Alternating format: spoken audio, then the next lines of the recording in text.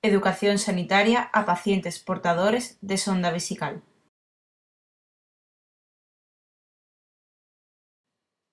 El sondaje vesical es un factor muy influyente para el desarrollo de un alto porcentaje de infecciones urinarias. Por tanto, para evitarlo es necesario aplicar una serie de medidas higiénico-sanitarias.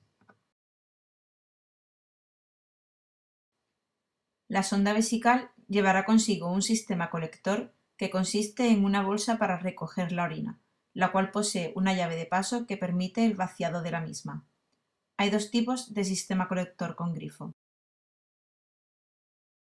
Sistema colector para cama de 2 litros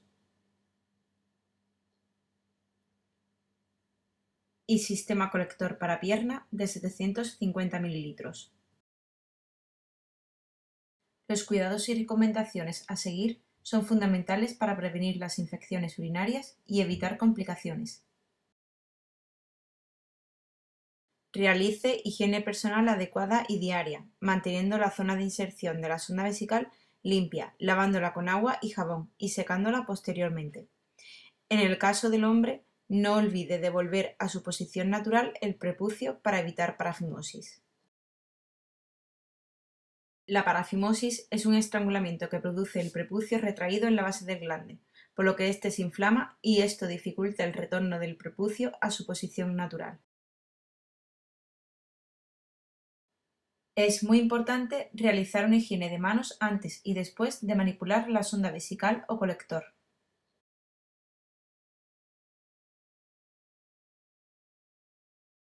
Si no hay contraindicación médica, debes realizar una ingesta abundante de líquidos, mayor de litro y medio al día.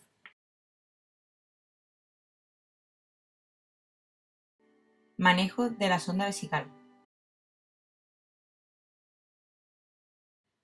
En todo momento, el sistema debe permanecer siempre por encima de la pierna y sin acodamientos ni nada que lo comprima, para favorecer así la salida de la orina a bolsa. Por tanto, para evitar acodaduras, reflujos y o traumatismos, se aconseja fijar la sonda con esparadrapo a la cara anterior del muslo. Observe el punto de apoyo de la sonda vesical y movilice su posición regularmente para evitar cualquier inicio de úlcera por presión. En caso de que ocurra, deberá ponerse en contacto con la enfermera enfermero de su centro de salud.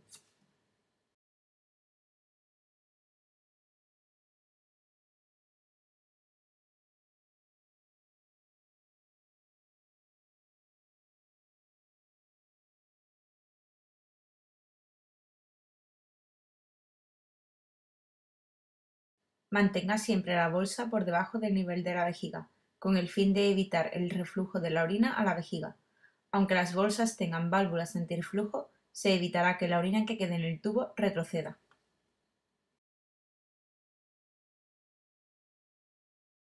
Si es imprescindible elevar la bolsa, se procederá a pinzar el tubo de drenaje lo más cerca posible a la sonda vesical.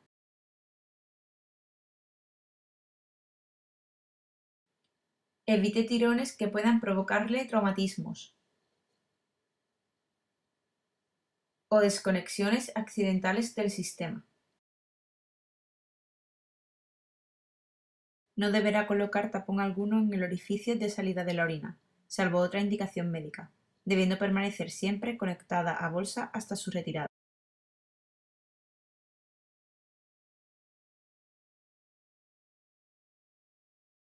En caso de precisar cambio de la bolsa, esta deberá realizarse de la forma más limpia posible, con una adecuada higiene de manos y con cuidado de no tirar del extremo de la sonda.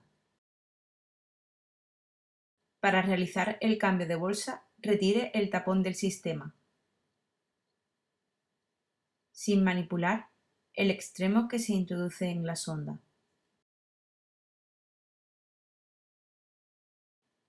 ¿Cómo proceder al vaciado de la bolsa? Evite que la bolsa se llene por completo, para que el peso no produzca tirones de la sonda. Por tanto, vacíe la bolsa regularmente mediante el grifo situado en la parte inferior.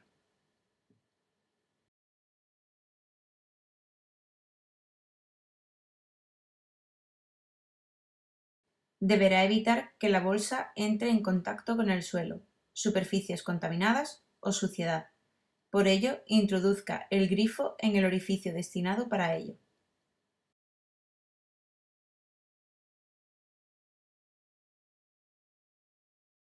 En la imagen se muestra cómo se vacía el sistema colector de pierna.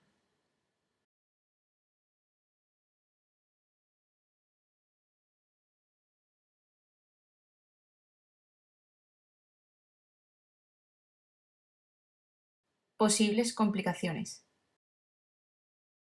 Presencia de espasmos vesicales. Puede sentir ganas de orinar, que puede ser debido a la presencia de espasmos vesicales, que son contracciones o dolor intenso que viene de manera intermitente, los cuales ceden con la relajación. Por el contrario, se intensifican si usted intenta orinar. Obstrucción de la sonda vesical. Se dará cuenta porque no salga orina y o sienta un dolor fuerte en el bajo vientre con sensación de querer orinar, o bien que presente escapes de orina alrededor de la sonda. En tal caso, acuda a su enfermero de zona. Salida accidental de la sonda vesical. En caso de que esto ocurra, usted deberá acudir a su enfermera enfermero de zona para proceder a realizar un nuevo sondaje. Fiebre. Siempre que sea mayor o igual a 38 grados. Por lo tanto, usted deberá estar atento a la aparición de fiebre igual o mayor de 38 grados, dolor, cambios en la cantidad, color y olor de la orina. En tales casos deberá acudir a su centro de salud.